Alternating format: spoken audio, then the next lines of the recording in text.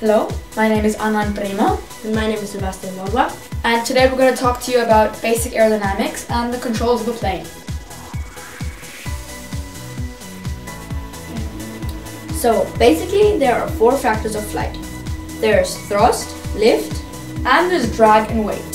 So thrust is caused by the motor in the plane, and it makes the plane fly forward. And lift is the force that opposes gravity, and it's mostly caused by the wings. And without thrust, there wouldn't be any lift because um, there wouldn't be enough air going over the wing. and that one calling lift. So um, and not the then we come to the drag. Drag is the opposite of thrust, and it is the resistance of the body of the aircraft. And what drag does basically do, does is drag makes the plane fly slower. And the last one is weight. Weight is basically the weight of the plane, and the greater the weight is, um, the more lift is required to make the plane be able to fly. So now we're going to show you a picture um, that sums up everything we just talked about and to give you a visual picture of how the four factors look on paper.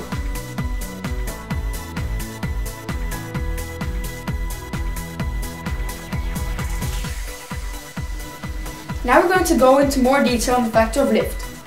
Lift is mostly caused by the wings, as I already explained to you, and One of the main principles is the Bernoulli principle, which we are going to explain to you now. Okay. So, as we can see here, as we can see here, um, the air comes from here, and this is the wing flying forward, and the air comes from here, and the air travels a longer way here than it does here, because there's a curve here. So, um, the air has to be faster on the upper side of the wing than on the underside, and that this creates a low pressure zone, which creates lift. This is the Bernoulli's principle.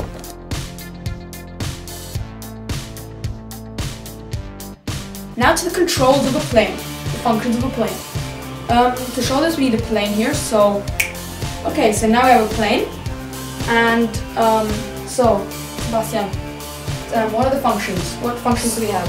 So at the front here we have the aileron, This is this function. So show it to the camera. The This is the aileron. aileron. And what this what this does is basically um, it lets the plane roll on its own axis. So like this, it would it would uh, roll to the left, like this to the right. It roll would roll on its own axis because because um, the the air, if I have it like this, the air comes from here, pushes this side down, mm-hmm. and would go pushes like this, side up, mm-hmm. and that's why it would this. roll like this. Now, what other controls we have? We have the elevator back here, the elevator. The elevator.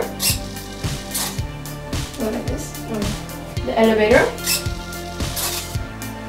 And what this what this control does, it, it lets you fly up and down, cause and it does this because if it's like this and the air goes over the elevator, it pushes the rudder down and it pushes the tail down. That means the front of the nose the nose goes up, and that means that that makes the plane fly upward. And the same with the when you go down. And at the back here we have the rudder, This is the rudder, and it makes you fly. and the rudder um, gives you yaw control. And many people won't know what the what yaw is. So Sebastian, show them what yaw is. Yaw is, Is um, yaw is this. like this. Okay. This is yaw. Oh yeah, yeah, that, that, that, that. So show it. That's yaw.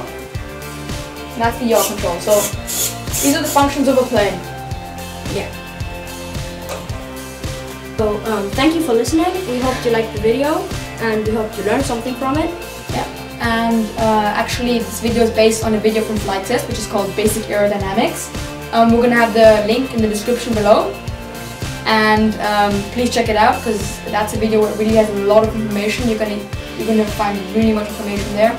We just summed a bit of the information up, and uh, yeah, um, thanks for watching, and please subscribe.